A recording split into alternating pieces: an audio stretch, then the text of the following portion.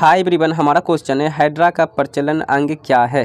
Option number A है कुटपाद option number B है सीलिया option number C है टंटे tentacle kills option number C है फ्लाइजिला ठीक है? तो इस क्वेश्चन का करेक्ट आंसर हो जाएगा ऑप्शन नंबर सी टंटेकिल्स जो है हाइड्रा का प्रचलन अंग है, ठीक है?